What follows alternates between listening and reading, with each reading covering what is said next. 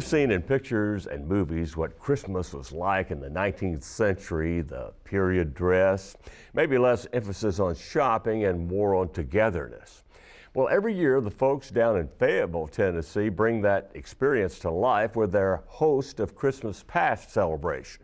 Tammy Ardner was there for the 20th annual event. You know it's almost Christmas when you can hardly stay in your seat. From the very young to young at heart, the host of Christmas Past in Lincoln County stirs up more than just visions of sugar plums. The town square in Fayetteville is turned into a scene from the 1800s. It takes you back to the time when people congregated around the courthouse and engaged in commerce at local businesses instead of driving to a mall.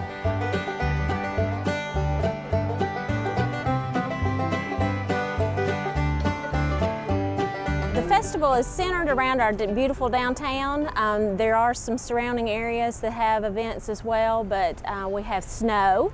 Actually, the snow is falling in Fayetteville today on this beautiful day and uh, there, uh, there's a kid zone, uh, carriage rides, all kinds of food vendors and vendors around the downtown area, as well as all of our great stores too. Hey Carolyn. How's it going? Marvelous. Good Marvelous. to see you. Carolyn Denton with the Lincoln Fayetteville Chamber of Commerce says this town of just 7,000 can swell to nearly 20,000 during this three-day event. Just started out with an idea. Someone thought that it would be good to have a festival and got a committee together and they brainstormed on it. Didn't really have a budget or know how it would work out, but 20 years later, we've brought tens of thousands of people into our community, and some people have even moved here after they've come for Host Christmas Past.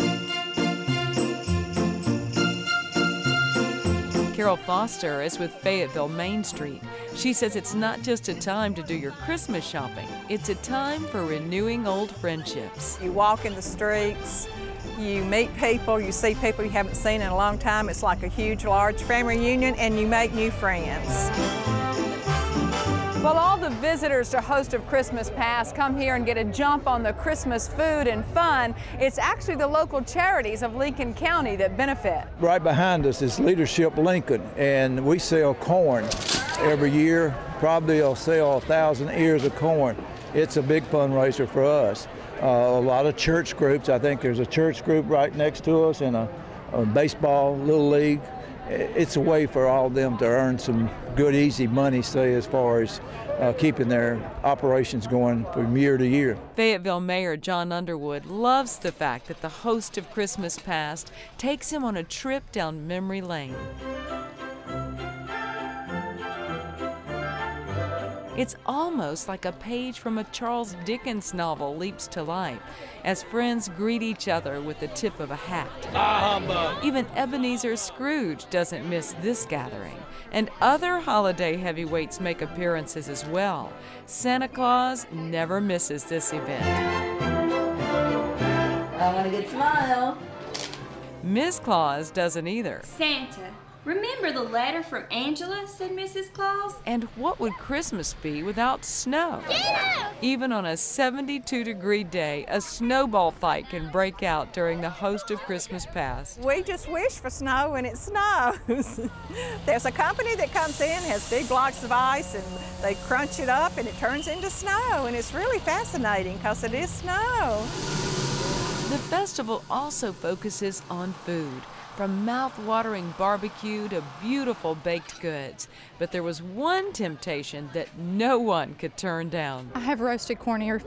It's so good. Amy O'Neill of Fayetteville says it may not sound like a Christmas time treat, but the grilled goodie is definitely a gift for the taste buds. I've never seen how they cook it before, but they soak it and then put it on the fire, and it is so good. And you got butter all over it, dripping off your chin and off it. It's good. Good stuff. Whether eating or watching the Flat Creek Dancers, the adults have just as much fun as the kids. Seeing the town of Fayetteville in its festive finest can be done on foot, or riding in the Moo Moo train, or hitching a ride on a horse drawn carriage.